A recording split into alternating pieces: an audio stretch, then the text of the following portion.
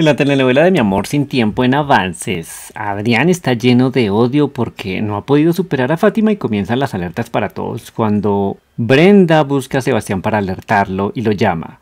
Entonces Sebastián quiere defender a Fátima de Adrián y va a encargarse que no le vuelva a pasar nada. Y Sebastián decide terminarlo todo cuando supuestamente Fátima quiere que Adrián ya no esté más. Pero las cosas salen muy diferentes porque parece que Adrián es quien pasa por encima de Sebastián cuando estaban peleando en el suelo.